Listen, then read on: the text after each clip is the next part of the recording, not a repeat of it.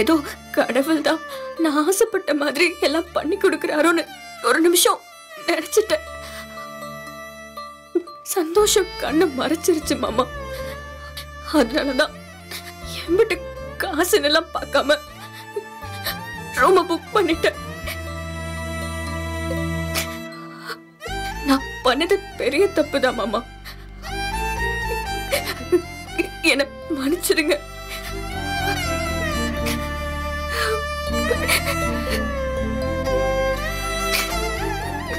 மயில இப்ப எதுக்கு அழுகுற அழாத. அழாத. இல்ல மாமா. சாரி கேட்கணும்னா நியாயப்படி நான் தான் சாரி கேட்கணும்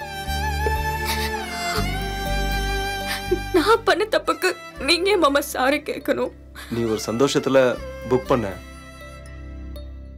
என்ன கொஞ்சம் கவனக்குறைவா இருந்துட்ட. எல்லாம் சரிதான். ஆனா ஒரு எதிர்பாராத சூழ்நிலை வரும்போது அதை நான் உடனே சமாளிச்சிருக்கணும். ரெண்டு மணி நேரத்துக்கு மேல உன்னை நான் வெளியில உட்கார வச்சிருக்கூடாது அடுத்து என்ன பண்றதுனே தெரியாத நிலைமைக்கு உன்னை நான் ஆளாக்கியிருக்கவே கூடாது. சாரி மயில பரவாயில்ல மாமா. நீங்க காசு வச்சுக்கிட்டா கட்டாம இருந்தீங்க. உங்ககிட்ட இல்லை. என்ன பண்ண முடியும்?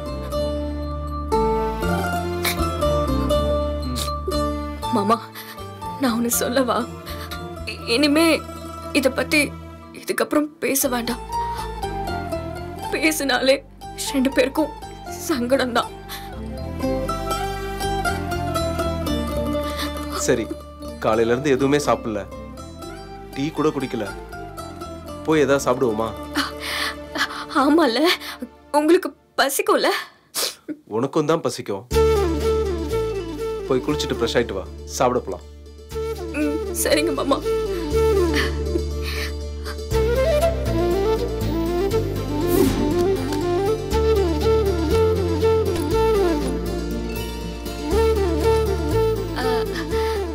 மாமா இந்த ரெண்டு புடவையில எந்த புடவை கட்டட்டும்?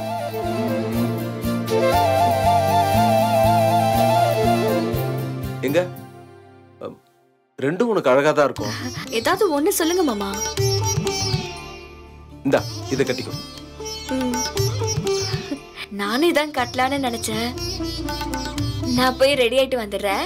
ம் சரி.